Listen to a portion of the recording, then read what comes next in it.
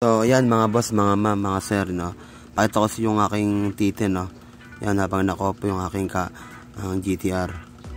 Yan, so buksan natin tong ilaw ko. Yan, ganyan po yung ilaw ko pag naka-bukas yung park light niya. Oh, di ba? Maliwanag naman, no.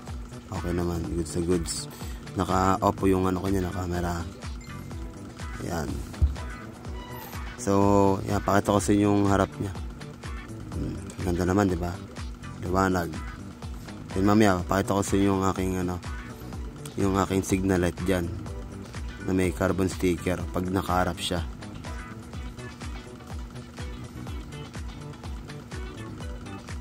Yan, pakita ko sa inyo.